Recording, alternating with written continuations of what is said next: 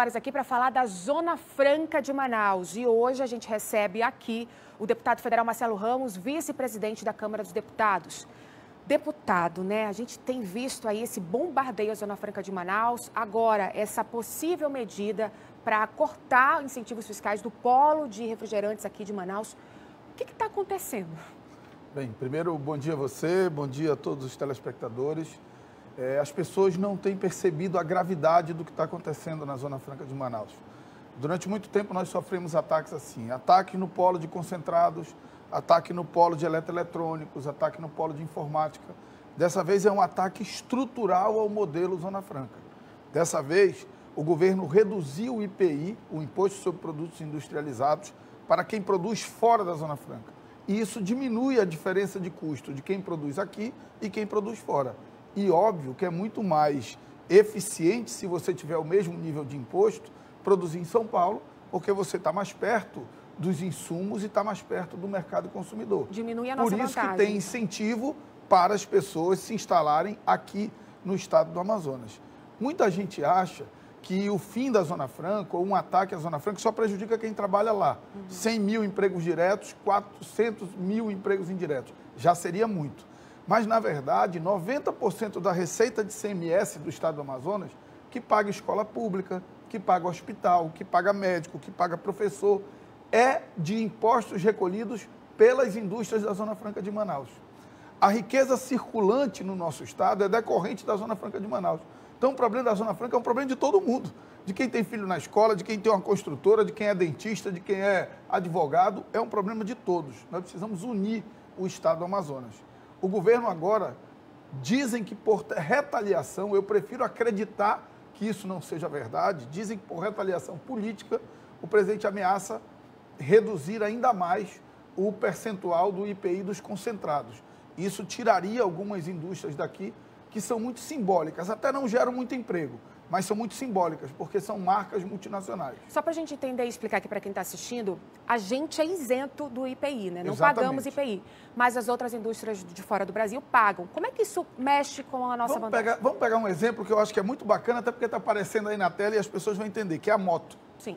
Se alguém quiser produzir uma moto em São Paulo, pode comprar todas as peças da China, só montar a moto e vender. Vai pagar imposto. Uhum. Vai pagar IPI e vai pagar imposto de importação.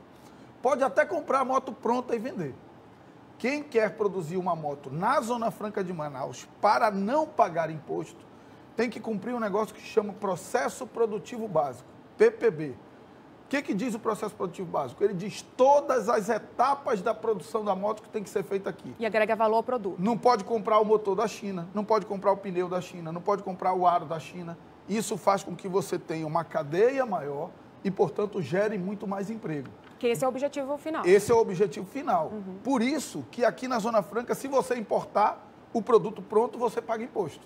Você tem que produzir aqui, fabricar aqui. Porque se eu importo uma moto, eu não gero emprego nenhum. Sim. Talvez um emprego de alguém que vai fazer o trabalho alfandegário. Uhum. Se eu produzo uma moto aqui, eu gero esses empregos que o telespectador está vendo aí na, na tela. Milhares de empregos.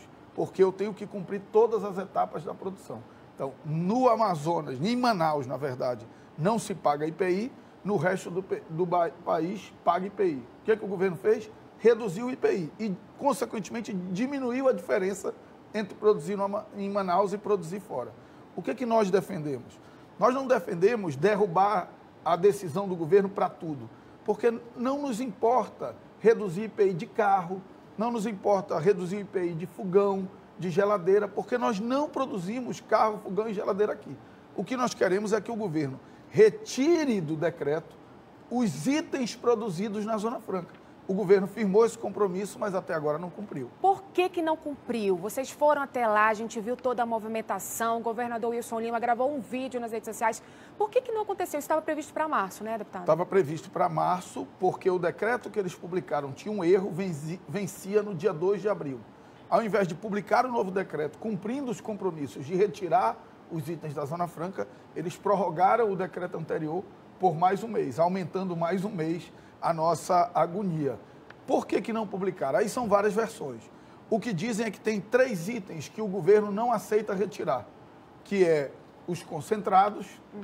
que é, é bens de informática e que são as motos, porque ele quer dar um sinal para esse pessoal que faz motociata com ele Brasil afora. Só que motocicleta, bens de informática e concentrados significa 75% dos empregos da Zona Franca de Manaus.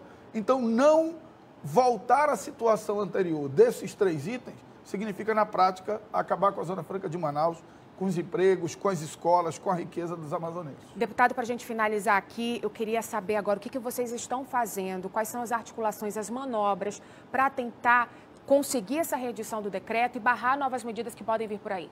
Primeiro, existe uma ação, e eu não sei nem provocada por quem, de um partido político, do PROS, que questiona a constitucionalidade desse decreto no Supremo Tribunal Federal. Nós não fizemos isso porque, como eu disse, nós não queremos derrubar o decreto inteiro, nós queremos apenas tirar os itens da Zona Franca. E aí nós temos, dentro dos instrumentos que a gente tem no Congresso Nacional, pressionado o governo para cumprir esse compromisso. Por exemplo, o senador Eduardo Braga e o senador Omar ontem derrubaram a sessão da Comissão de Constituição e Justiça que ia discutir a reforma tributária. Disseram, não, só tem discussão sobre reforma tributária depois que resolver o problema de Manaus. Pauta de eu interesse sou, do governo. Eu sou é. o vice-presidente do Congresso Nacional, mas acabo atuando como presidente. Das 27 sessões do Congresso Nacional, o presidente, que é o presidente do Senado, Rodrigo Pacheco presidiu uma e eu presidi 26. Então, eu tranquei a pauta do Congresso Nacional. Não tem sessão do Congresso Nacional para votar as matérias de interesse do governo enquanto eles não publicarem o decreto. A gente está fazendo ali uma guerra de guerrilha dentro do parlamento, mas é preciso que a sociedade brasileira entenda, a amazonense entenda a gravidade do problema. Não é um problema só de Manaus também. Uhum. O interior do Amazonas vive de repasse de ICMS e de fundo de participação dos municípios, que terá uma queda drástica sem a Zona Franca. Então, é um problema do Estado inteiro. É preciso união. É preciso que quem é contra o presidente politicamente faça o trabalho de resistência, mas quem é a favor precisa estar do nosso lado também, mandando mensagens positivas, pedindo que o presidente cumpra o seu compromisso. Cobrando. Isso não é uma briga política, uhum. isso é uma briga pelos empregos e pela vida dos amazonenses. Deputado, muito obrigada pela sua participação, cedinho aqui no 6 horas. Boa sorte lá e a gente espera que tudo se resolva vai se resolver porque nós vamos lutar bastante, mas não está fácil. Verdade, né? Vamos lá continuar cobrando principalmente. A gente vai para o intervalo comercial, é bem rápido, voltamos já.